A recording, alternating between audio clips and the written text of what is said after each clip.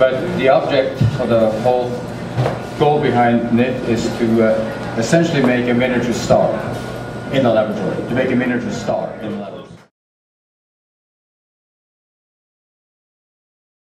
You'll see inside a small gold can, and don't bother stealing it, there's not much value in that gold. Uh, and inside the can sits a small millimeter sized plastic shell.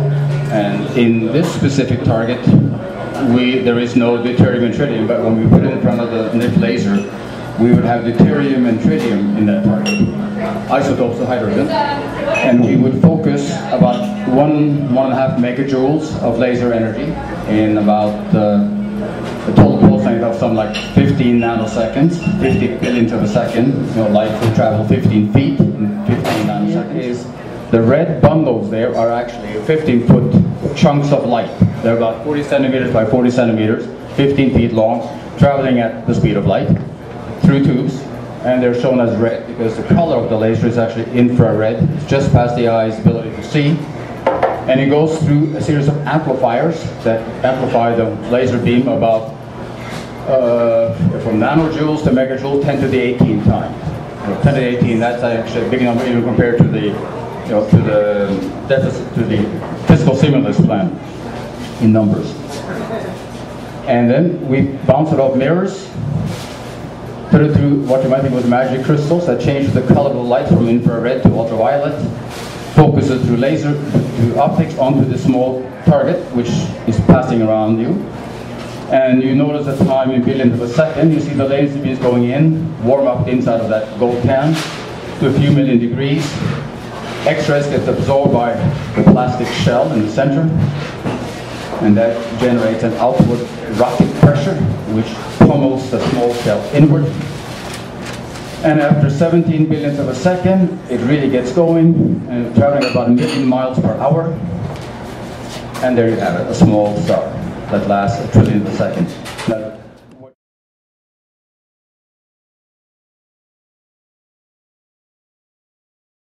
We're now, we'll do it. Some people will say, you know, you're not going to make it happen on it. Uh, I worked in this program for many years. We've done some experiments. I hate to say this but I, I can't talk about all the details because they're still classified.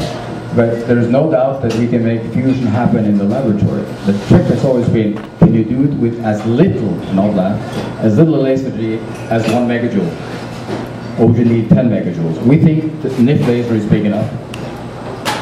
So in about a year, maybe two years, as we fine-tune the physics and understanding, we will get this whole... Obama were to, once we have ignition on it, and he were to say, like Kennedy did in 60, 61 I think exactly, you know, we'll put a man on the moon not because it's easy, but because it's something that we should do for ourselves, for mankind, for the nation.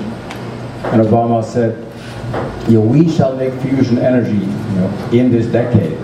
We could probably have a first prototype of this, maybe in, in eight years, but even that, you know, you, you can't have it tomorrow. Five years, no. Because there are so many things that I know we have to do that are possible, that How do you respond to some of the criticism that was sort of slightly mentioned in the piece? This was originally a $900 million project that turned into a $3.5 billion project. Um, Eric's good. Eric, Eric's side when I asked about money, but uh, in these times, a billion may not sound like a, mo- a lot of money anymore. But uh, how do you respond to the, some of the criticisms about that this is just too expensive and we shouldn't be investing in it at this time? There, there are two things. One is you know, the, the justified criticism that when the project was, let me say, sold, okay, uh, back in the early 90s, there was some optimism and it was underestimated how the complexity of being to do it.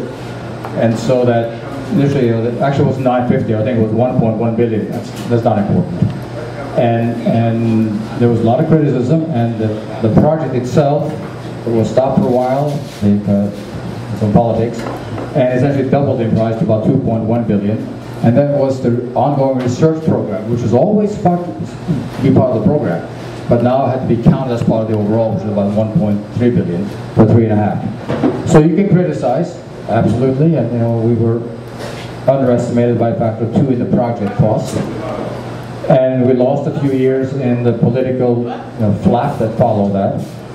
Uh, but I think if you imply that three and a half billion dollars is too much to demonstrate fusion, you know, on, on Earth that will power us for the rest of, of mankind's life, three and a half billion is nothing. I mean, it, it's well worth 10, 100 times that price. I mean, it, it really is priceless. If you can find an energy source that uses water, right, and has no high-level waste and is inherently safe, I mean, the Chernobyl accident type syndrome cannot only not happen, it's, it's physically impossible with a fusion process. Okay, I do want to disabuse you of the idea that we're going to make small nuclear weapons and, and you know, set them off in the, in the NIF chamber. If you wanted to use NIF as a laser, as a weapon, you'd be better off picking up the building and dropping it on someone. I mean, it's, it's, it's, no, I'm serious. It's just the wrong technology, the wrong everything for doing that. And also, what we talk about is the fusion situation. Now, we're not talking about making the fission bomb that sets as a trigger match for the fusion bomb. So we can study the physics, the bits and pieces of the physics to help people understand better how a thermonuclear device works. And that's actually rather important because you know, nuclear weapons are here. Uh, they're not going to be wished away. They will be part of the US deterrent for decades to come. They'll be part of the French and the British and other deterrent for decades to come. And maybe we wish they weren't here, but they are. And so if and when, hope the day never comes, that the president or some other place needs to launch a nuclear weapon for whatever reason, he wants to make damn sure that it works. Otherwise, it's not a deterrent. You know, if, if it's of random and no one believes it, it's not a credible deterrent. In the days when you could test nuclear weapons on the ground, you, you could make sure that they were credible and reliable and safe and secure. That's no longer possible, the CTB, Test Ban Treaty. And so the confidence that the president would have on the safety, reliability, and security and the terror stockpile is the expertise of people, not like myself, because I'm not working in that part of the program, but like myself at Livermore, who have the expertise to do it. But if they can't test themselves by designing and testing weapons on the ground, they have to do experiments someplace and test their ability to think and understand and project how these weapons age and change over decades.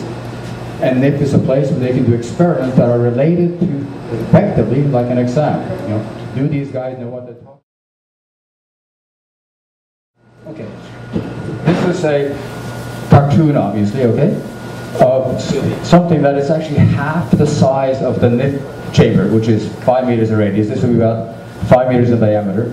Then you would inject, this is shitty resolution, I'm sorry for my language, but this little golden thing there, okay, would be one of these, okay?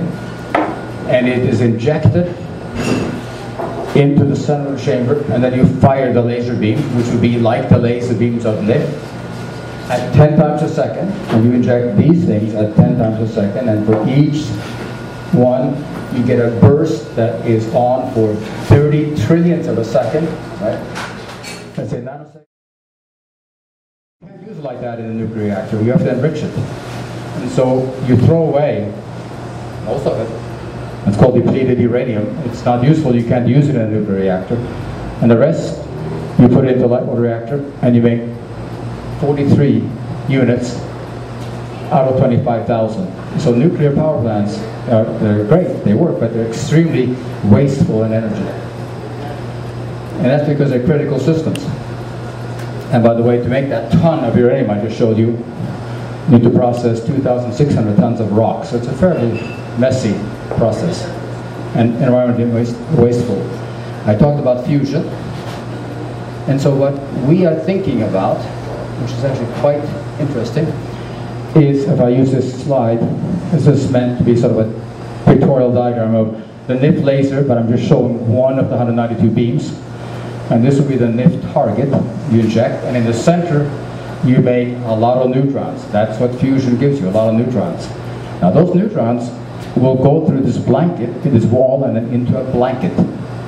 And then the magic of having a lot of neutrons is you can now choose the blanket you want for energy-specific missions.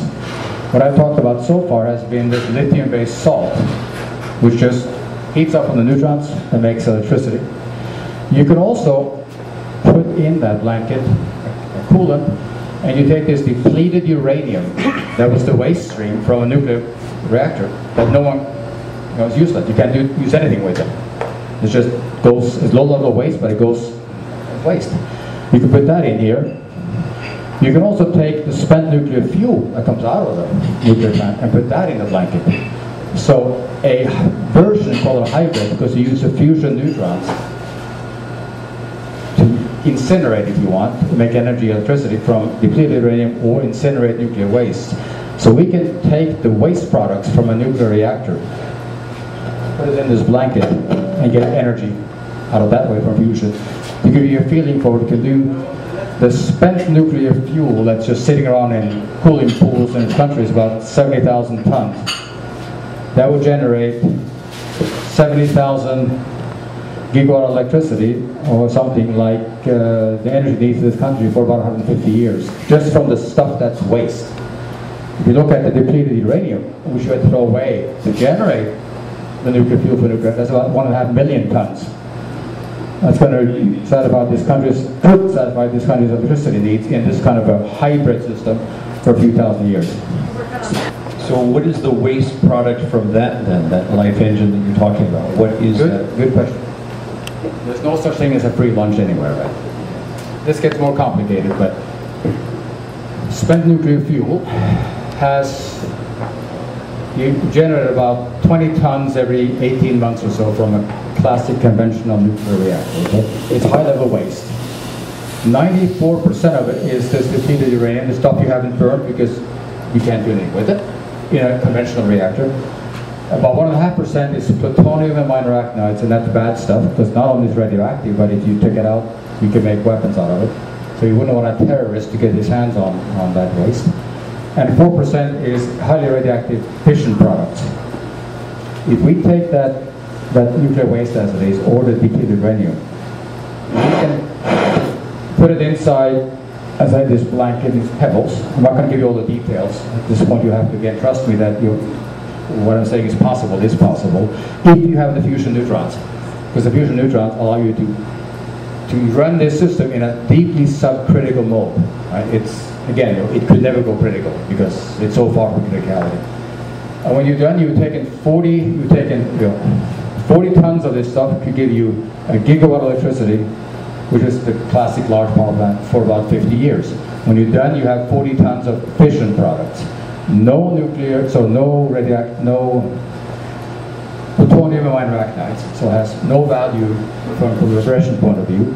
It does have fission products, but because, now gets reasonably complicated, because that waste has no weapons attractive materials in it the usual argument in this country against chemical reprocessing goes away.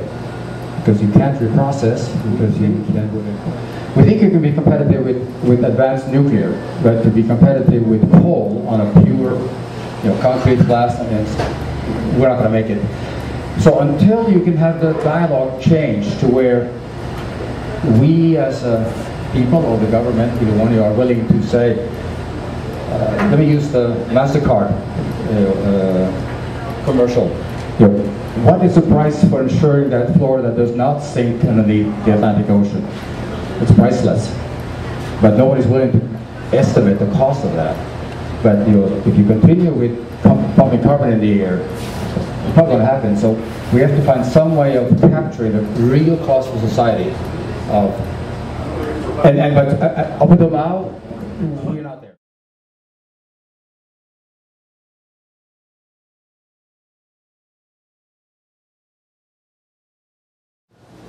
don't know. we, we used, asked uh, maybe 10, 15 years ago, someone coined the phrase that you know, we're the cathedral builders of the 21st century. And what they meant by that is you know, when, when people built cathedrals in the Middle Ages, they knew that they might not see the end. You know, it might be left for their, their children to see. But it was, it was worth it because the ultimate goal, in that sense, the glory of God. What, we, what we're doing is not far from that. And I think that you know the goal of making it happen is now within our reach, and that's pretty exciting.